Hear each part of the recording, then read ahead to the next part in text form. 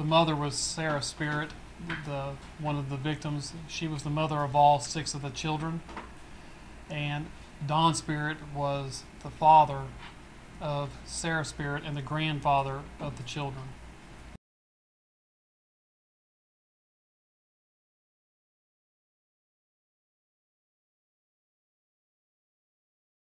I think it's totally unnecessary. I mean, the kids didn't deserve this at all. I was hoping nothing like this would happen.